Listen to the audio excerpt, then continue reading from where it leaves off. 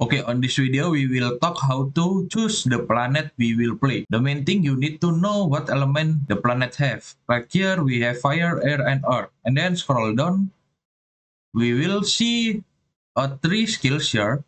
It's have a earth, fire, and fire. So the skills and the element match.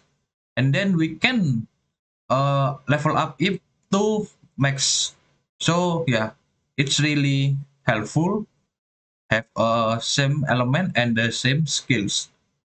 And then about the skills, one skills will give you extra 11 points on the planet element.